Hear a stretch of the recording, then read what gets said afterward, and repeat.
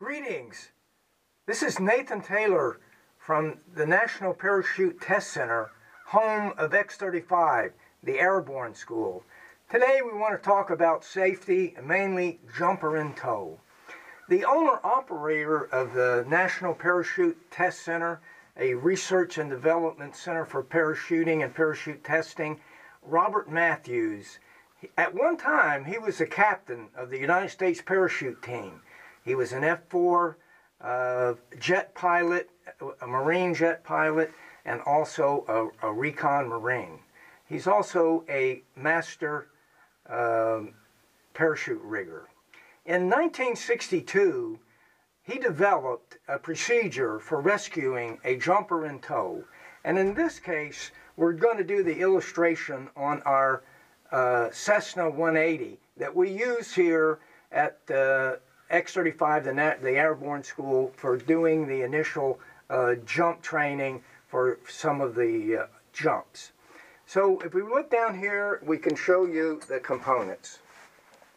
It's composed mainly of a anchor system that has a Capewell release in it and also two D-rings.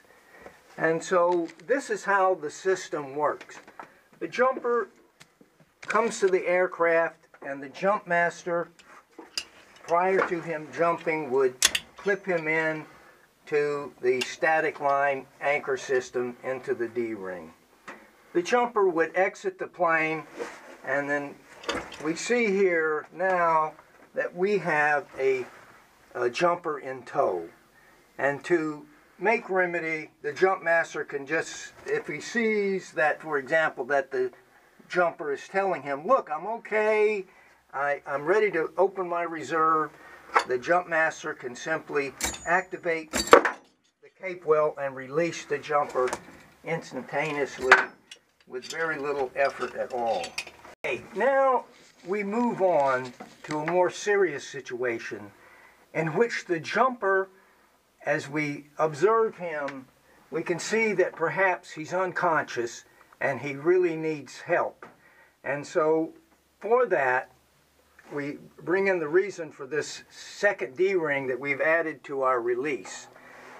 At, here at X-35 at the Airborne School, in the plane, we have another reserve that is set up with a static line on its reserve handle.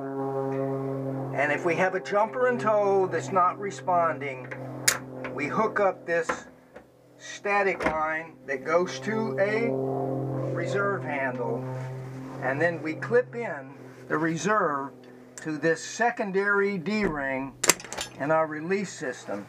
We set this system by the door and then we simply uh, activate the Capewell, releasing the jumper.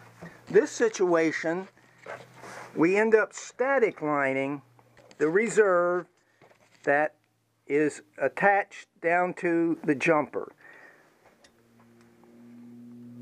And so now hopefully the jumper will either, when he lands, he'll either have an activated main or uh, obviously the reserve that we put out for him, he could land with that, but if it opens up and pulls apart his main, then his main would open and he would land with either one of those two parachutes.